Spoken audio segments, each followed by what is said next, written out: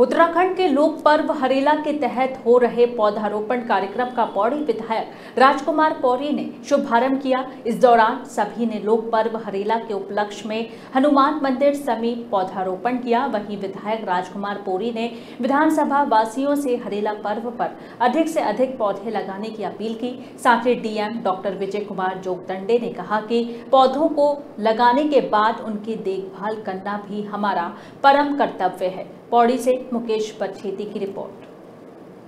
पर्व है हमारे उत्तराखंड का, एक प्रमुख पर्व है। और इसकी मंशा यही है कि हम अपनी जो हमारी प्राकृतिक धरोहर है, उसको हम किस तरह से संरक्षित करेंगे।